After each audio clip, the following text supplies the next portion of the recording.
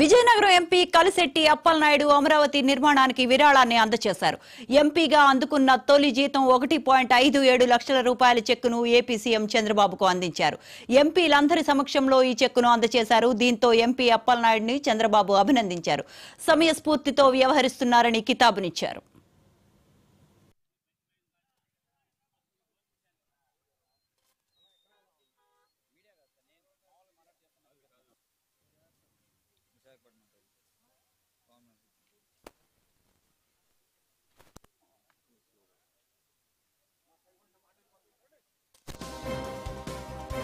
Thank you.